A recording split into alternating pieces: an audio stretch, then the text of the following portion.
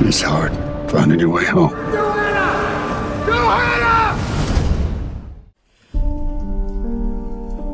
Ladies and gentlemen, my name is Captain Jefferson Kyle Kidd, and I'm here tonight to read the news from across this great world of ours.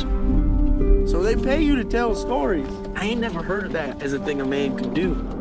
It's not a rich man's occupation, as you can see.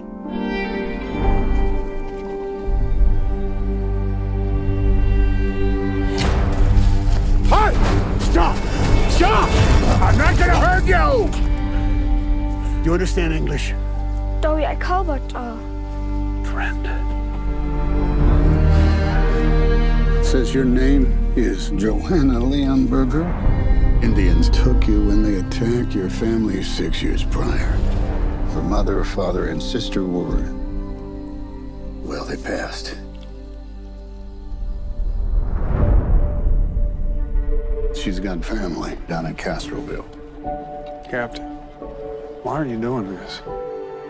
She needs to laugh and dream. She needs new memories. Road's closed. Is that the law? It is now. Captain, you, Johanna. I do not have a clue as to the care of a child. It's a photograph.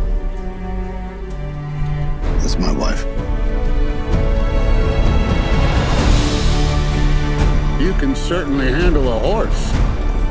That there's a horse. Horse. Captain. Captain. Make no mistake. Captain. Word is she's that captive out of Wichita Falls. What do you want? How much you want for her? This child is not for sale.